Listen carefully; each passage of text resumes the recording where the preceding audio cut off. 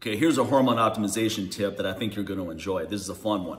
And this is with regards to optimizing leptin, which again is a master control hormone. It's your natural fuel gauge.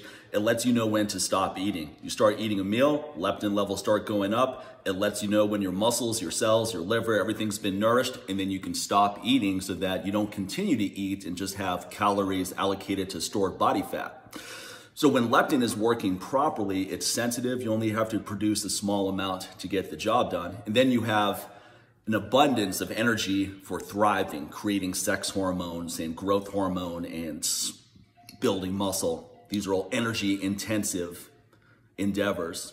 Now, the thing about leptin is this. When people go on a diet, what do they do? They reduce calories. So let's say you go from 3,000 calories to 1,500 calories. Now, initially, you're going to lose a bunch of weight. I mean, you just cut your calories in half. But over time, your body down regulates. Your body starts adapting to the calories that are coming in. It's going, we're no longer getting 3,000 calories. So now we need to prioritize what energy is allocated towards.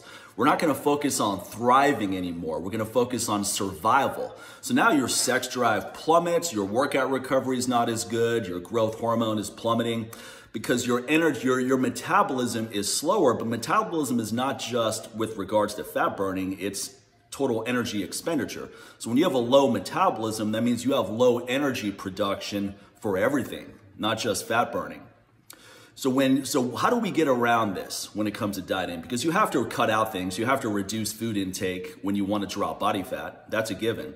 I mean, the obvious thing to do is focus on foods that are really high in nutrition and relatively low in calories. In other words, the ratio between the nutrition you're getting and the calories is favorable. It's in your favor. You're getting a lot of nutrition without having to take in a lot of calories.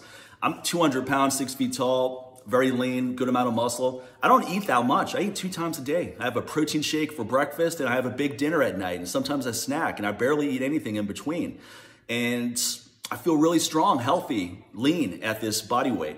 And the, the thing though is, is that the food choices I'm making are very high in nutrition. I'm not just eating a bunch of junk where you're getting macros, you're getting protein, you're getting fat, you're getting carbs, but you're not getting vitamins, you're not getting minerals, you're not getting polyphenols, you're not getting things that nourish your body.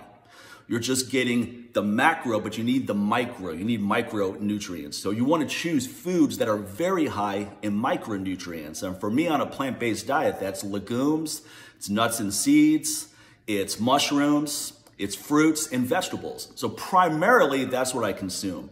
And then maybe I'll deviate a little bit. I'll have some rice every once in a while or some quinoa or sweet potatoes. But those are not staples. Those are not things I have all the time. What I thrive on are the food groups that I just mentioned.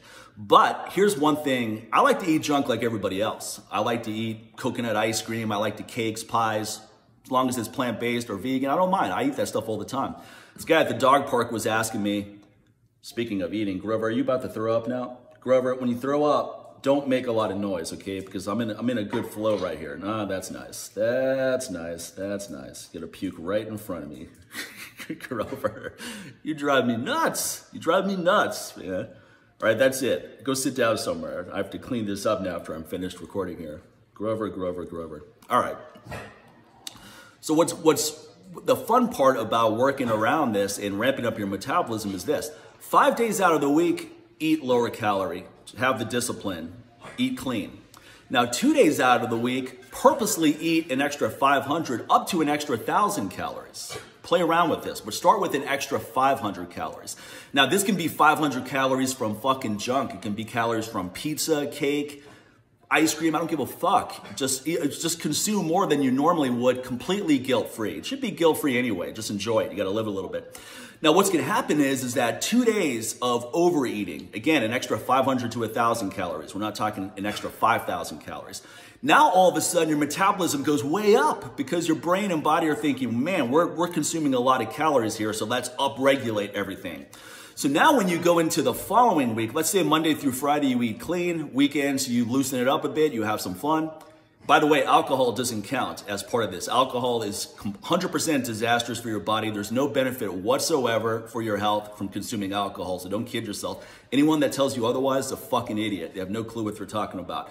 One glass of alcohol shuts down growth hormone for fucking 24 hours, one glass. Testosterone plummets, conversion of testosterone estrogen, increases insulin resistance. I could go on and on and on, fucks up your liver. I could keep going. So alcohol does not count with this. Now, when you can, when you have those two days of indulgence, though, you go into the next week with a much higher metabolism. So now you're going to be burning more fat as you're taking in lower calories. So before you were taking in lower calories and your metabolism down regulated. So you're not going to be in a fat burning state. Now you've taken in two days of excessive calories. So Monday through Friday, you're going to be running at a higher metabolic rate. And as a result, you're going to burn more fat and have greater energy expenditure for thriving. All right. Now, on that note, I have to focus on cleaning up this puke that Grover just produced on my floor. Thank God I don't have carpets. I'll tell you that much. Because I would be blowing a lot of money on carpet cleaners.